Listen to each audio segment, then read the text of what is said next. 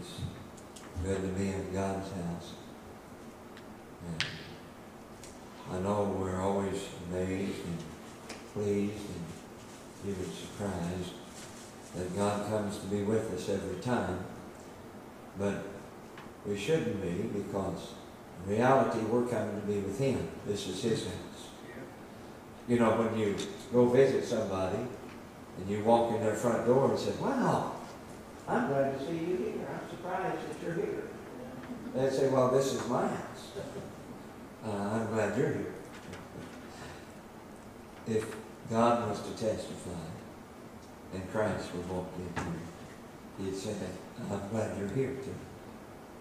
I'm glad you're in my house. I'm glad that you come to be with me.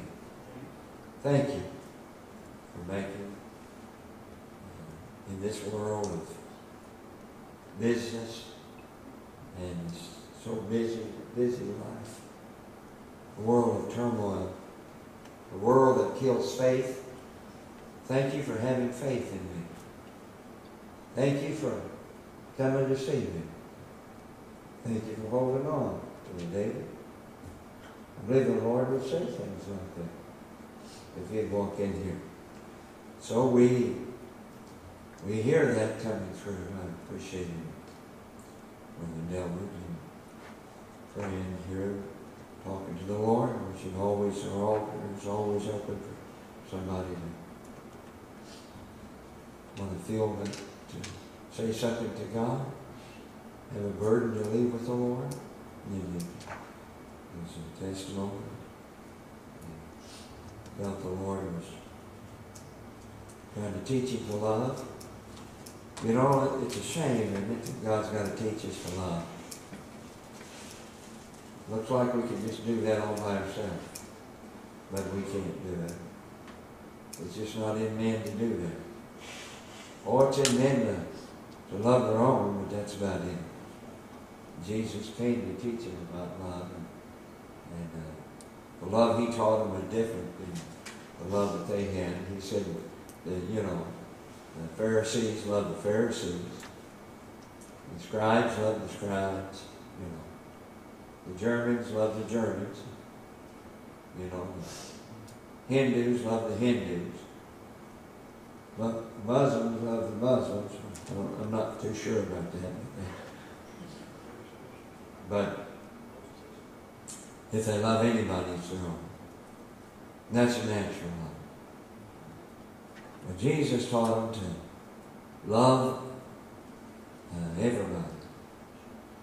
And that doesn't uh, that doesn't come from us. That comes from the Lord. Or the devil's desire to be able to love the way God loves. And, uh, love what God loves and hate what God hates. And it's a lot of times we hate what God loves. And we get in trouble for the Lord hate what He loves. You gotta love what He loves. You get in trouble in God with God loving what God hates too. You love what God hates, love not the world, neither the things that are in the world. All that's in the world, lust of the flesh, lust of the eye, and the pride of life. Love not them. He said, don't love them. Those things hate God. So don't, don't love the things that hate God. But anybody that loves God, we surely should love them.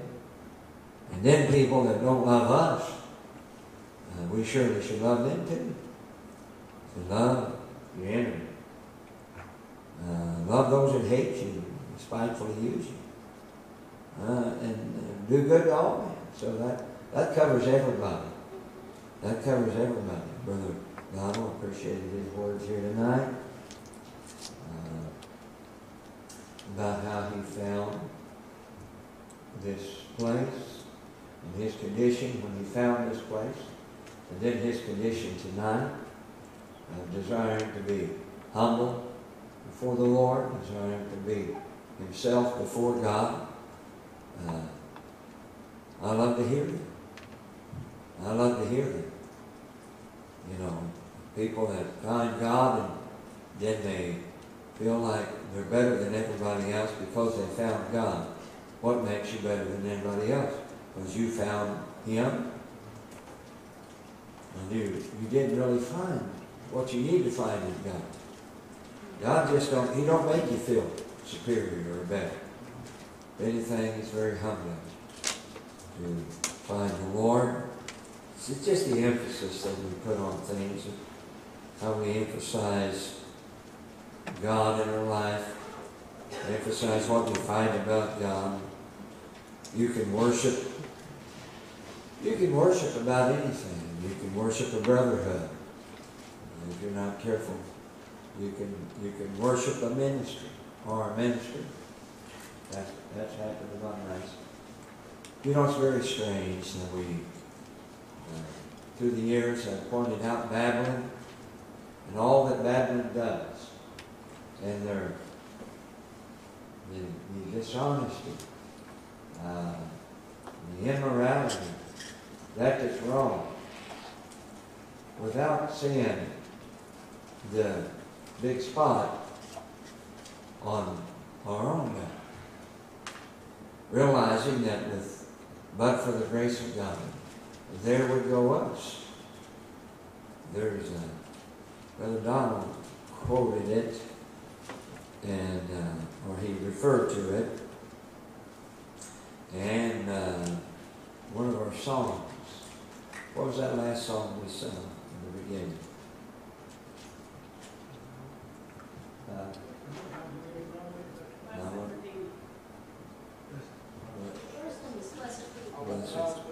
yeah, I want God's way to be my way. You know, that's easy to sing.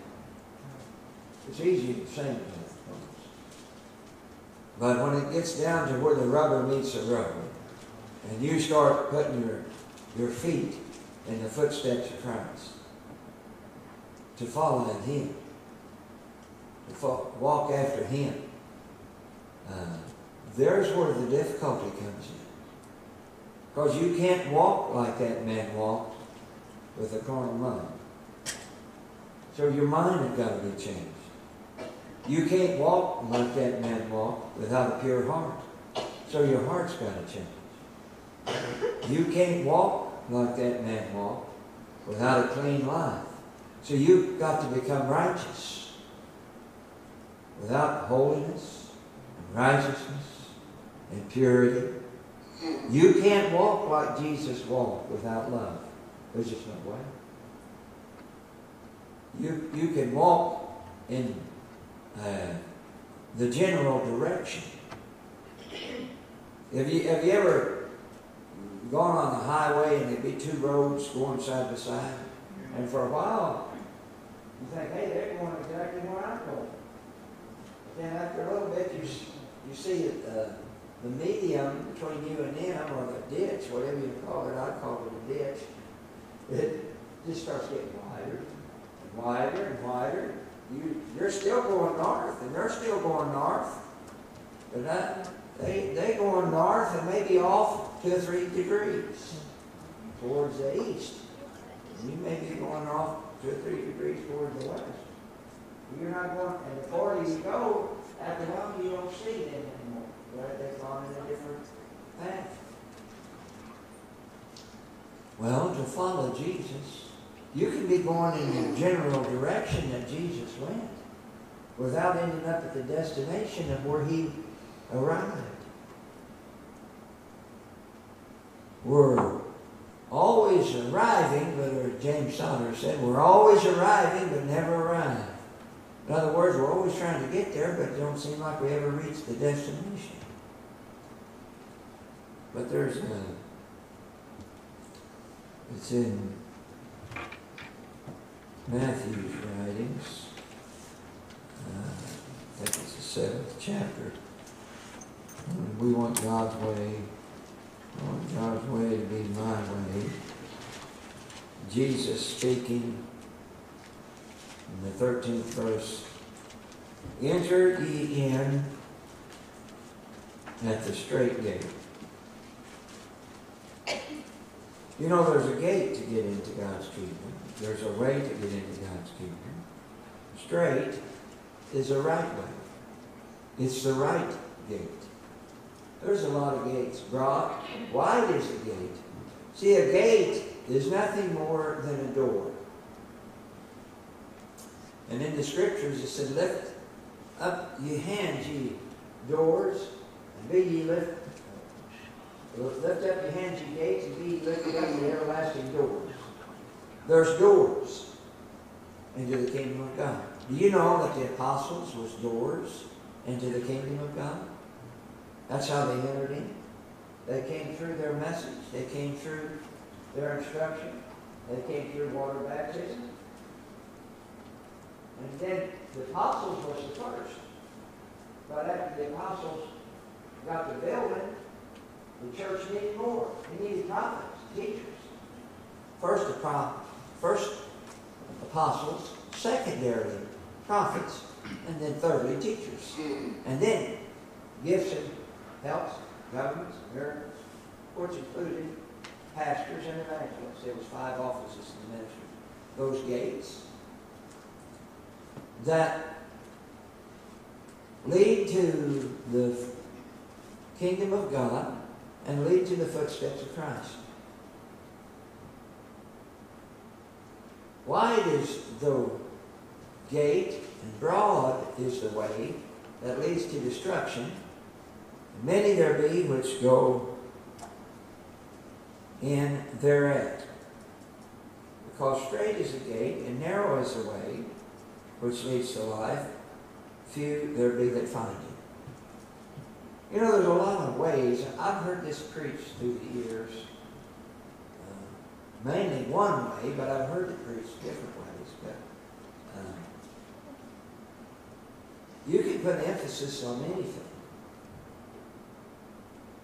Usually, when I heard the emphasis put on this, it was on standards. And if you're going to follow Jesus, you have to have a strict standard because it's going to have to be a narrow passage. and It'll be a fat man squeeze on you, and you've got to be skinny. You can't have a lot of flesh. But upon, now if you sit down and you begin to meditate about what the Broadway is, Broadway is very all-inclusive. It includes the world. Lust of the flesh, lust of the eye, and the pride of life. That's what's in the Broadway. It's men building without consideration of God and His words. Without consideration of the Spirit of the Lord. Without consideration of the love of the Lord. It's just building it anyway. in Any way you would desire to build.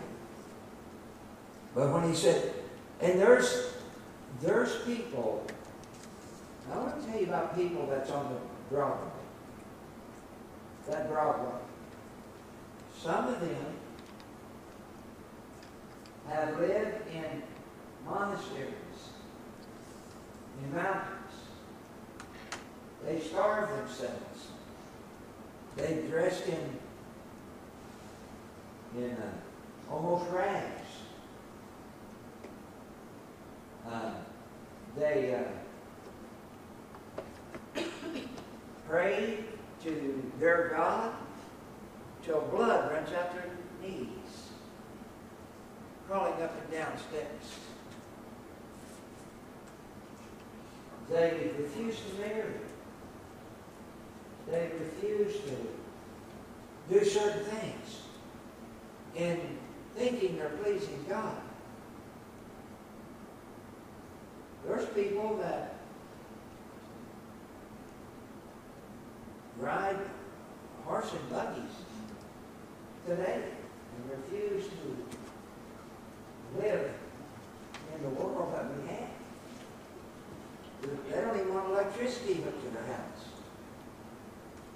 That's their standards.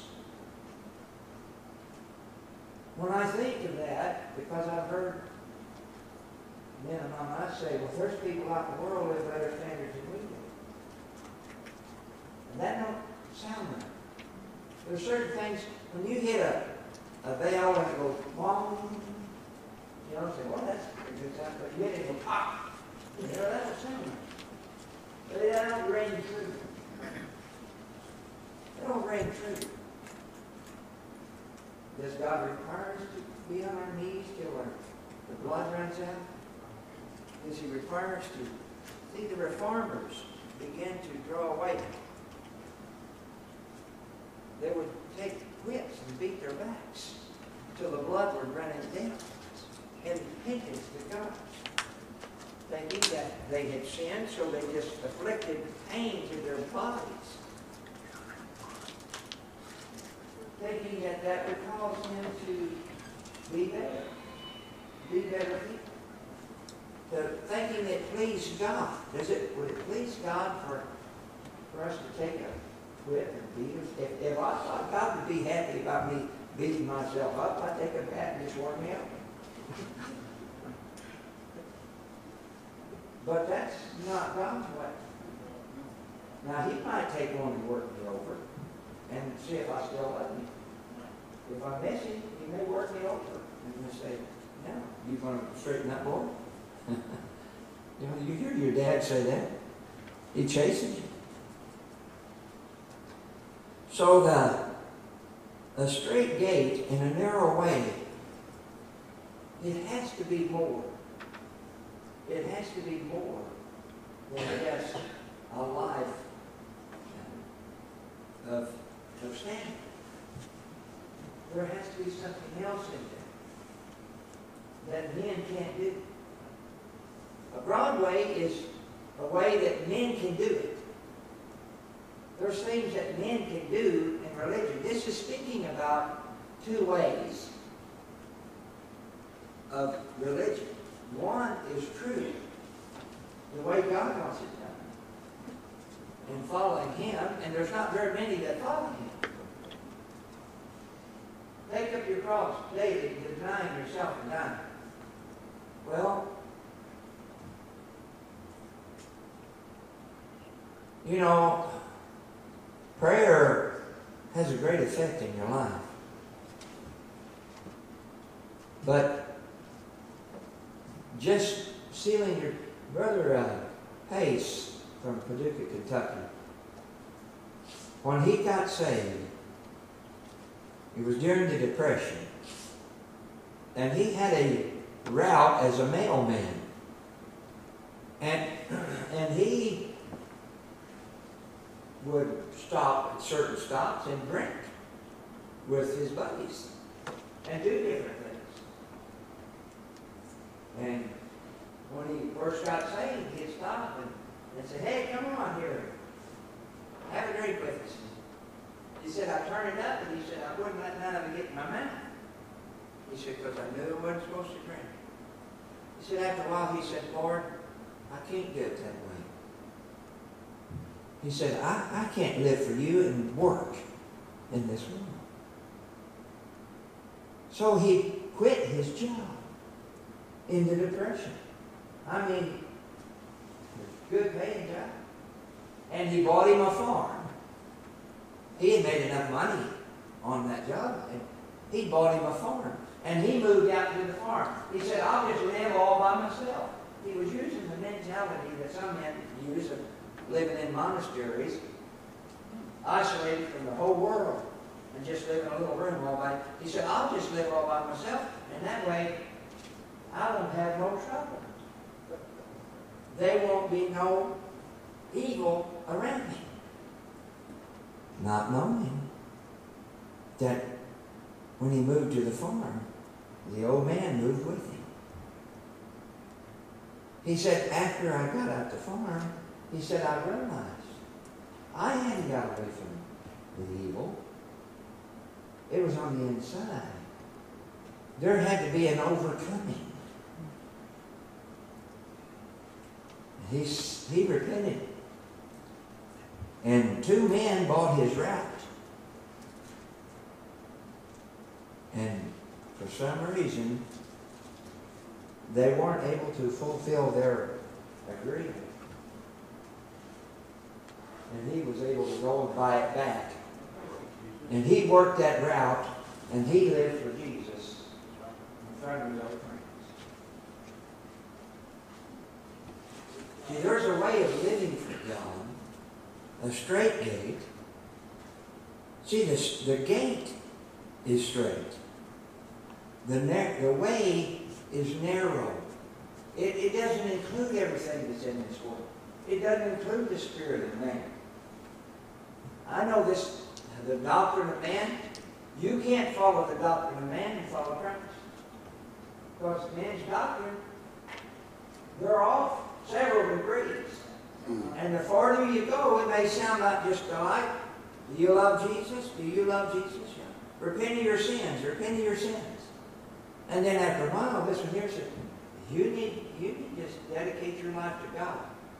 You need to learn what the Lord wants. You need to start overcoming. You, you need, you're saved now from your past sins, but you need to begin to work in your life of overcoming that that caused you to sin. On this side, you're saved from your past sins. Go tell other people, get them saved. So what about what about my life? I'm still sinning. That's all right. Just repent to Jesus. He don't expect you to be perfect. He don't expect you to do anything. I mean, you're weak. And you, you're you're a human being. You've got that's that's who you are. Don't don't worry about that. So you just repent of it every once in a while, and, and it's okay. You see two different ways there? There's two different ways. There's two different gates. One of them is straight, one of them is narrow. You're to love everybody. Don't mistreat anyone. What about those that hate me? Well, you love them too. They hurt me, Brother Mouser. I know that. And I'm sorry. I wish they hadn't hurt you. But they won't ask me for forgiveness. I said, I know that. And I'm sad that they don't. But you forgive them anyway. You forgive people. You have a right spirit. You have to have the spirit of love in your life. The other side said, hey, those people over there in the other church, they ain't teaching what we're teaching. Don't you have nothing to do with them. Don't you even talk to them. Those ain't Christians. Those are those people don't know God. Those people haven't got God in their life. Matter of fact, it's okay to hate them. And if you can cheat them or hurt or steal from them, it's okay. Do you know? Do you know in uh, in Russia, in communism, it's okay to lie if you're lying for the betterment of communism. They, they can sign treaties and lie all they want to because it's for the betterment of communism. But it's okay to hate people. Now, don't hate everybody. Just certain people it's okay to hate. You can hate the unsaved. You can hate the other ones that don't believe like you do. So that, but they don't, these over here, they don't believe in, in uh, the same doctrine I do of the Godhead. They're infidels. They're infidels. They don't have no God in their life. At once, at one time, these people had the power to kill the others. They said, hunt them down. hunt them down. Get their names. We'll send out a team and kill them. You know they did that? During the Dark Ages, they did that.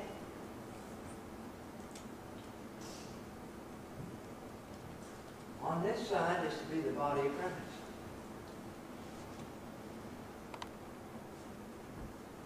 What about these people that don't believe like we do, Brother Mouser? Don't have nothing to do with it. Hate them. Oh. Oh.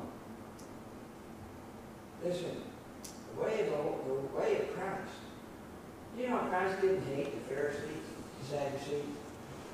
I mean, he he had, he didn't like their ways, but when, but when he when when John the third chapter was wrote, he was speaking to a Pharisee. John three sixteen, for God so loved the world that he gave his only begotten Son. He spoke that to the Pharisee. Other times he spoke to publicans. Other times he spoke to Sadducees. Other times he spoke to Romans. or Gentiles. I've saying so great a faith, no, not in Israel. Thy petition be granted.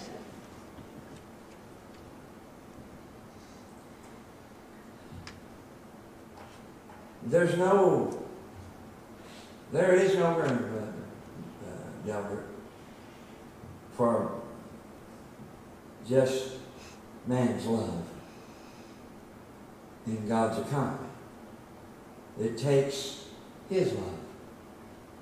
When I say His economy, His kingdom, the building, all in Him.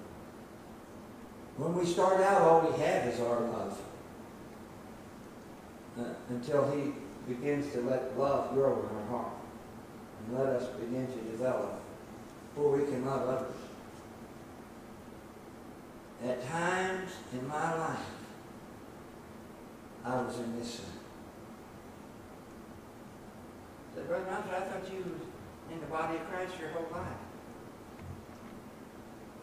Well, I was supposed to be. I was in the churches in the body of Christ. And this was my attitude. This was my attitude. I'm repented. I'm sorry for it. Brother Steve Farmer gave us a wonderful message a couple of weeks ago on Thursday night. He said, when you make decisions in serving God, you make the best decision you can. He said later on, you may learn more about God, and you might say, hey, that decision I made was not the best decision to be made. There's a better decision to be made because I know God's will more. You know, if we never grow in God and get more light in God and learn more about God, we won't ever mature. The closer you get to God, surely we're going to see Him clearer the closer we get to Him. I know. And so I, I pray, God, Lord, make me a straight gate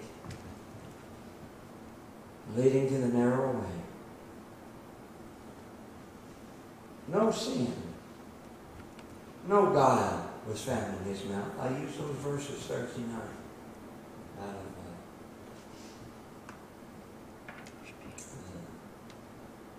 It's Peter. Second, first Peter, second chapter. For Christ left us an example that you should follow in his steps, who did no sin, Peter 2.20. Neither was guile found in his mouth. No, the next verse. Probably. Twenty-two. Even hereunto, leaving us an example that you should follow in his steps, who did no sin, neither was guile found in his mouth. There's an example, back in, in 21, sir. There's an example. There's an example. You know, I, I troubleshoot uh, problems at work with Todd. I learned to read uh, schematics, blueprints several years back. And uh, if, if I can pull a printout and it gives me the example, it shows me what all the equipment is and all the wires and the numbers. I can, you know, I can troubleshoot problems and find a path called a circuitry or a path. I follow that path all the way through that machine and I find what is not working. Christ gave us a blueprint, a schematic, uh, an example of what it took to please God. And that's in Matthew, Mark, Luke, and John. Four Gospels. Now, the rest of the New Testament is the apostles reading that schematic of his and building the kingdom. they were reading and following his example of how he told them to do it. And that's what we read in the rest of it. And they were dealing with the world of their day, which included, it's a different world than we're living in today. They were, for, for those uh, years, uh, from the pouring out of the Holy Ghost on the day of Pentecost till the Revelations, the end of John's life, about a 70 year span, the world was ruled by Rome. The Caesars ruled the world. There was slavery. Uh, there was atrocities. They, they, they dealt, the world they lived in was a very difficult world to live in. Uh, they didn't have AC. Someone was saying how they loved the air conditioning. Who was that? Brother Doug was saying how he loved air conditioning. He wouldn't have loved that world. They didn't have air conditioning. Uh, they they had very little heating. Well, not very much food. You can. They didn't have a whole lot of human rights. They just they come in and kill whole communities. Somebody disrupt the Roman Empire, they come in and just crucifying. They lined the roads into Rome with crosses and people dying on them. They used Jesus wasn't the only one crucified. He's the only righteous man crucified. But up to his point, and after that, there were some of his children were crucified. Christians were hunted down and killed. They, they lived in. Now here we are trying to put this schematic, uh, this blueprint in our day. I hope you appreciate the difficulty that ministry has in applying these words to our society. In some ways, we're better off. In some ways, we're worse. We're, we're, we've got easy street so much in America. Do you know that there's great revivals in the third world countries where they don't have air conditioning, where they don't have enough food, where they don't have medical care? Do you know there's great revivals in Africa, in India? Where they're so crowded they haven't even hardly got room to live in India. They got more people in it. India is the second largest nation in the world by population, but they're just a little bitty country. Those people live on top of themselves. Be horrible. You know, we're, we're the wide open spaces of America. You know, you live in your own house with, with not 50 or 100 other people living in there. And, that, in Haiti, they don't even have houses. Tents. At least a lot of them. But what the age we're living in is a faith killing, destroying age. And when you, Jesus told them, he told the Jews in the Old Testament, he said, when you get into the land where I sent you, and you plant your vineyards, and you build your homes, and you get on easy street, well, God told them that. He said, you're going to forget me. And you're going to start going after other gods and doing other things. Do you know they did that? They planted vineyards, they planted bigger vineyards. They built houses, and they built bigger houses. And then they just forgot God. They turned to other gods. They began to destroy and pollute from within. You know, when a, when a group of people exists for a certain amount of time, without change, then they begin to implode. I mean, it's just history. They begin to implode on themselves. They begin to turn on themselves.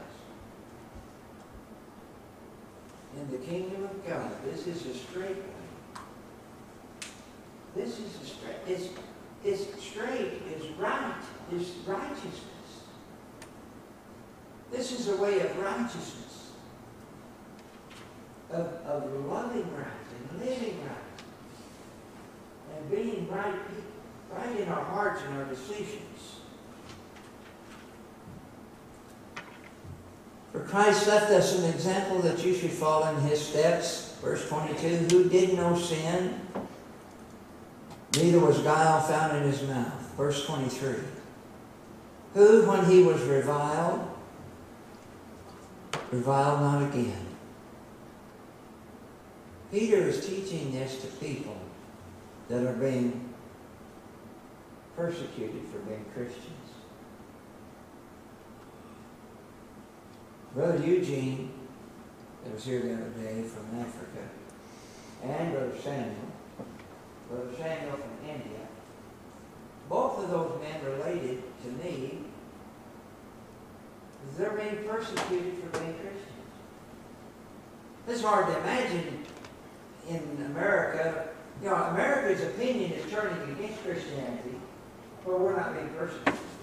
But they're being persecuted in other countries. Peter is telling them, when you're reviled, revile not again. And when he, when he suffered, he threatened not, but committed himself to him that judges righteously. Meaning, you do the same thing. You know, when uh,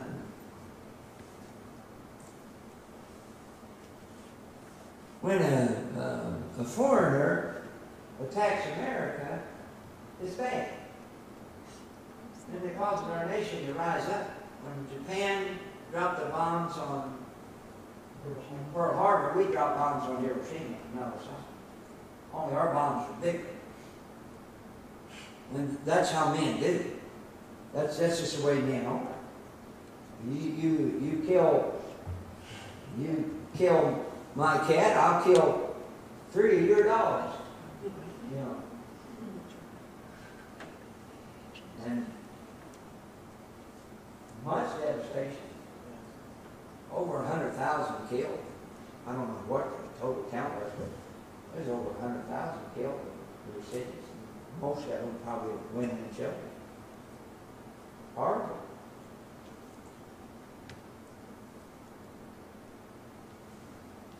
And that's the way men are. But when America is attacked by Americans, what do we do? We don't, we can't go bomb the city they're from. Eh, they're from Philadelphia. Let's go bomb Philadelphia.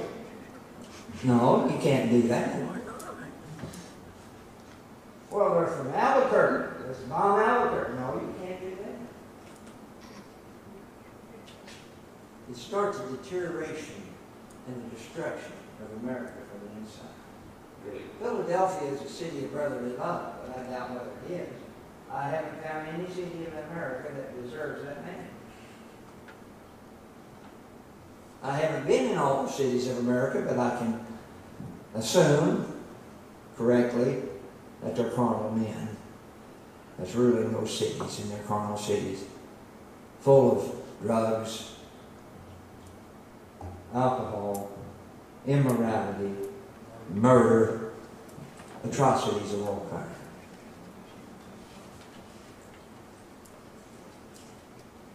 In the straight way. We only pass through this life one time. You've only got one opportunity to serve God. Now, if you miss Him, this is the land of beginning and again. You can get back in place and keep on going. But you can't live your life over. We, I heard a song sung one time, wasted years, wasted years, oh how foolish. And a guy was lamenting, and his some guy had wrote a song. And he was lamenting that he had wasted some years in his life, and he was trying to make up by serving God the rest of his life. Well, thank God. Thank God he come to his senses and that there was some wasted time, and he was going to pick up the pace and finish the race. And that's the land of beginning again. A land of going on in God.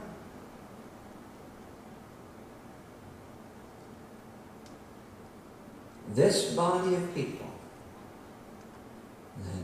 I call the body of Christ, the kingdom of God, started with Brother William Sowders, and it started with the spirit of charity. And, the, and he used the term charity referring to the spirit of how he treated other Christians.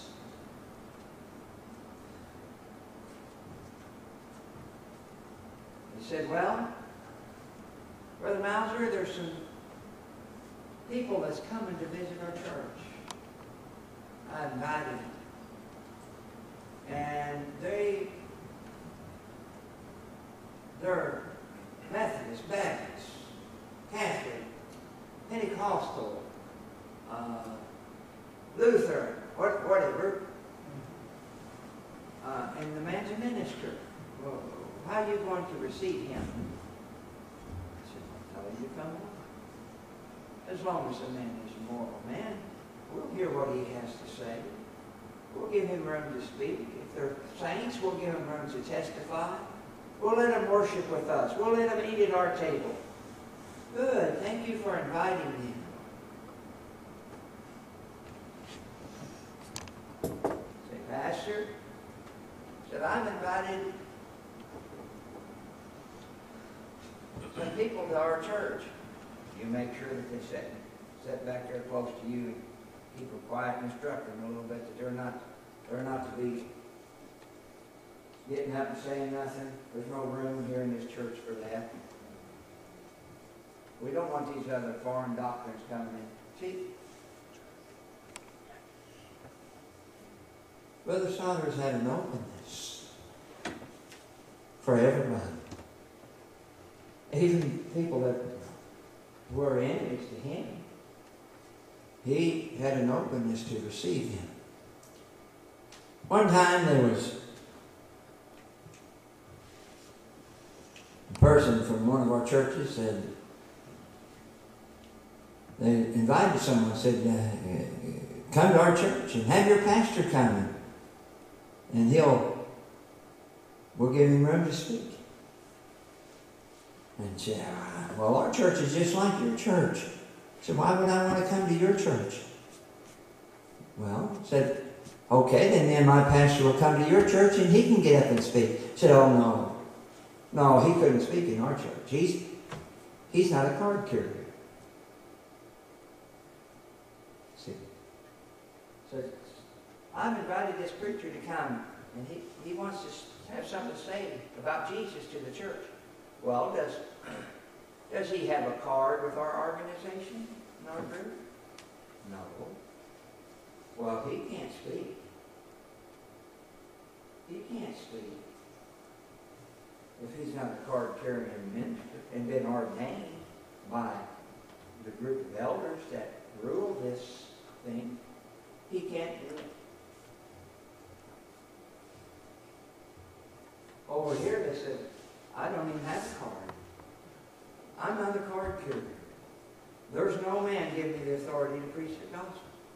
I've had people ask me, said, who ordained you? Who gave you the right to preach? I said, Jesus. He gave me, he gave me the gift. He called me. He saved me. I said, well, what about a group of men? Don't you have a group of men that give you a paper to tell you you could preach? I said, well, I've never found a group of men with that authority. I've never found a group of men that have the authority that outrules God. So the papers don't mean anything. And if a man says, I'm a preacher, and he gets up and he gets behind the pulpit, I can tell you within five minutes or less if he's a preacher.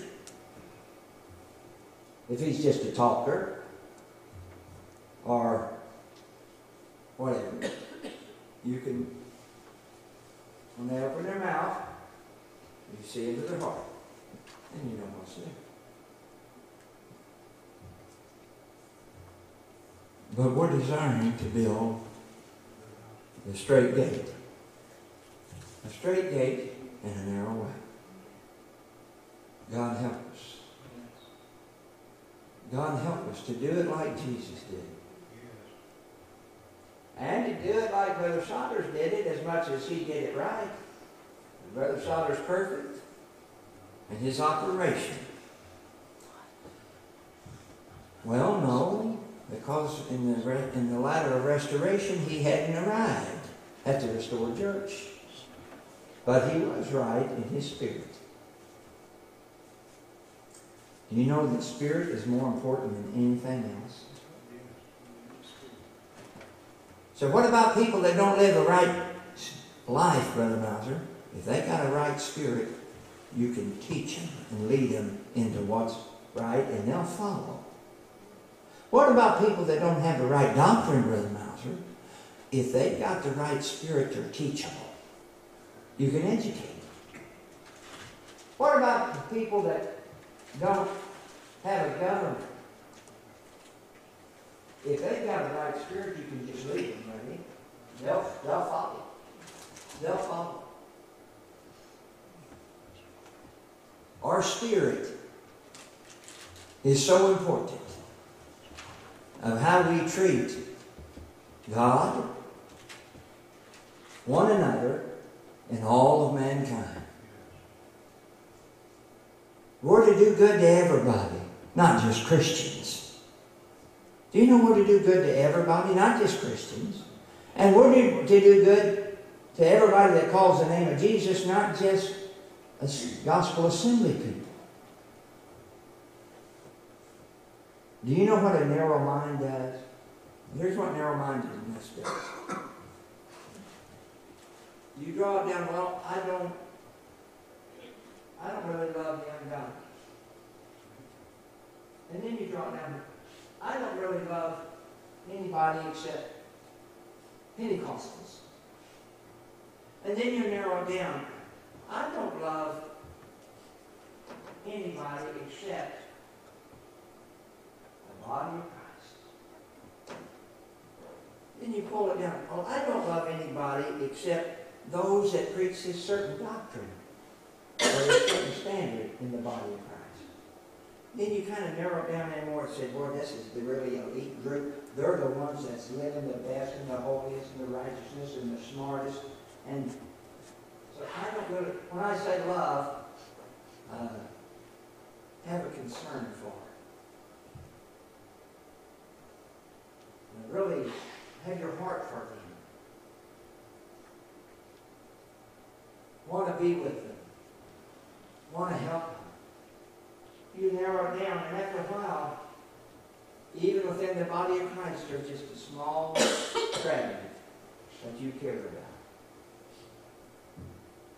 God help us. Our vision has got to be broader. We've got to be concerned about everybody.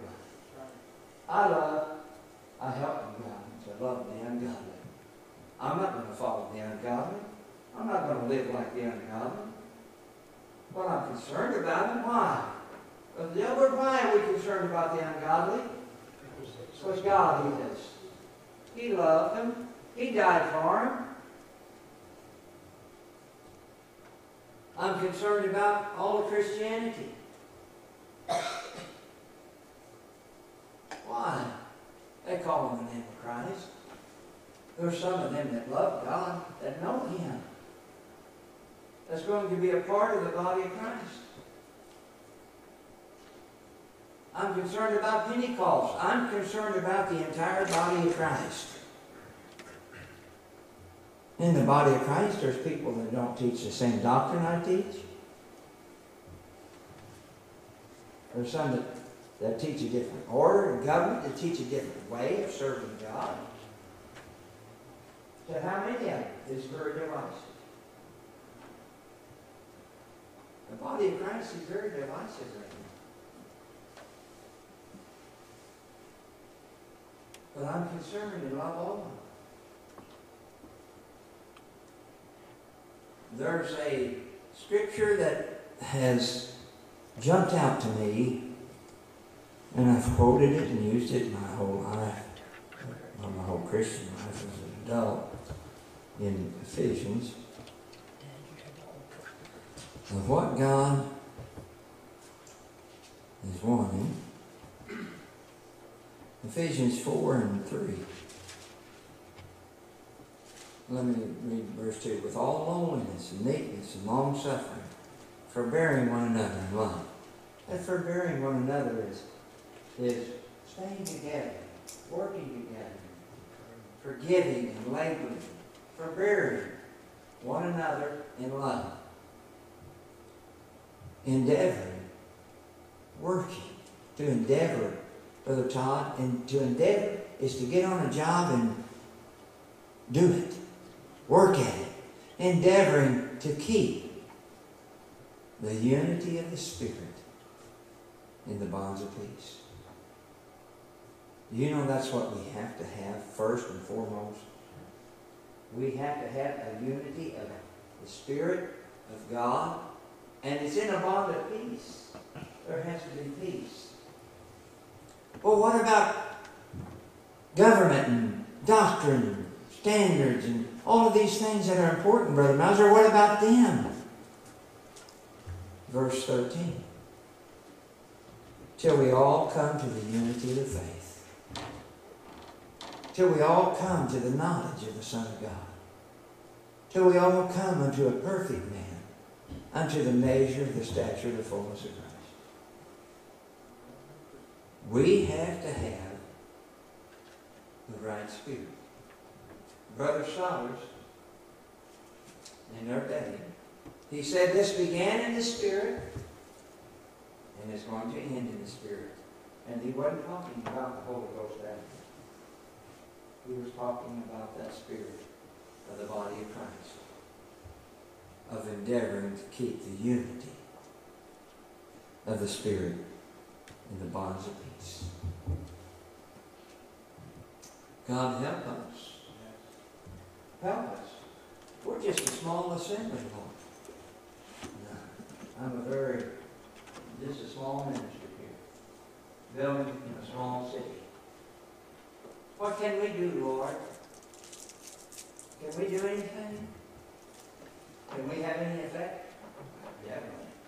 You can have a good effect or a bad effect. But despise not the day of small things. Don't you know that sometimes God gets pleasure in, in Him building, in Him doing? When you see, well, it's not man. It's not Brother Mouser that's did this. It's not man that did It's God that's built this. It's God that's doing this. So, Lord, help us, uh, Brother Delbert, to see through the eyes of God. And Brother Donald, to be faithful to our vision.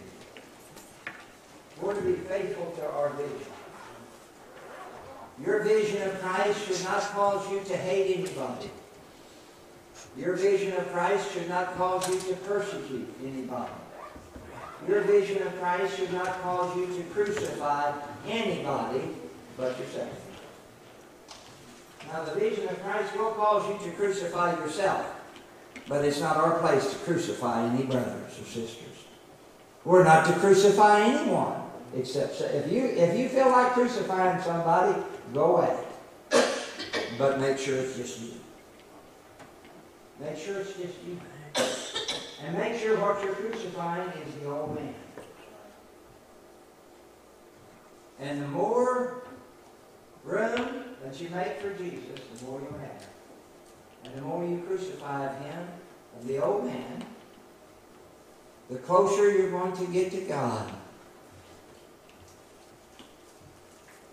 And uh, crucifying him is just serving God to do his will.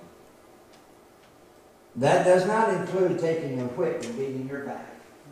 That does not include crawling up stone steps till your blood, your knees bleed. That does not include hunting down uh, unbelievers and killing. Them. That does not include being a, a mob that will destroy others. But it, it's very good. Having a spirit of love, joy, peace, long suffering, gentleness. Brother Donald said, God is a gentle man. He is very gentle. He's very gentle. If you'll let him. And he can be rough, but he's a gentleman.